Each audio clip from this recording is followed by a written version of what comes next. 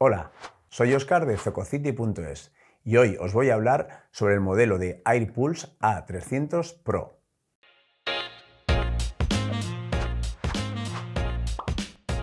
Después de los buenos resultados obtenidos con la serie S, Edifier ha decidido lanzar una nueva gama de monitores con la última tecnología y diseño, encargando los aspectos técnicos y de diseño al afamado ingeniero de sonido Phil Jones, montando un midwoofer de 6 pulgadas y media, con diafragma de magnesio y aluminio, y Twitter de cinta de aluminio. El fabricante declara una amplificación de 120 vatios para el woofer y 10 para el Twitter. El cableado interno está a cargo de la prestigiosa marca americana Transparent. El A300 Pro presenta un diseño eléctrico y acústico simétrico. Ambos altavoces incorporan su propio amplificador, permitiendo compartir la señal entre ambos sin cables. Se basa en el sistema ClearNet, transmitiendo en un espectro de 5,2 GHz y 5,8 GHz, y con un ancho de banda de radio de 22 MHz, asegurando una transmisión sin pérdidas de la señal de audio. Además de la alta conectividad incorporada, incluye Bluetooth 5.0, compatible con el códec de alta fidelidad aptX HD, ideal para reproducir archivos inalámbricamente con una alta calidad de sonido.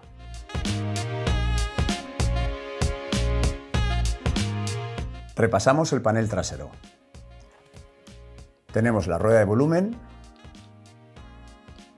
con su respectivo display, un selector de entrada, donde tendremos balanceado, no balanceado y otros.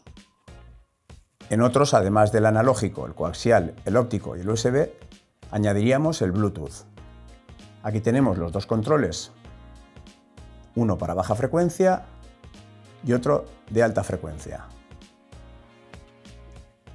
unido a su interruptor y cable de corriente independiente.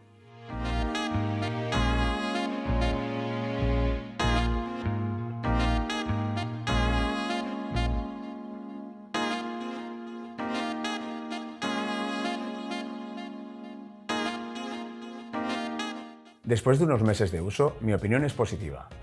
Son unos monitores que sorprenden desde el primer minuto, por su conectividad, acabados y calidad de componentes además de su capacidad de sonorizar salas de hasta 20 o 25 metros perfectamente. El rendimiento en graves es muy bueno, con una pegada precisa y contundente. Unido a su Twitter de cinta, ofrece una escena amplia y detallada. Por poner una pega, comentar que son bastante sensibles en su ubicación. Hay que ubicarlas con el agudo a la altura de nuestros oídos. Su dispersión vertical no es su mayor virtud. A su favor, tan solo decir que una vez colocadas en su correcta ubicación, las cajas desaparecen ofreciendo la sensación de estar delante de un equipo de mayores dimensiones.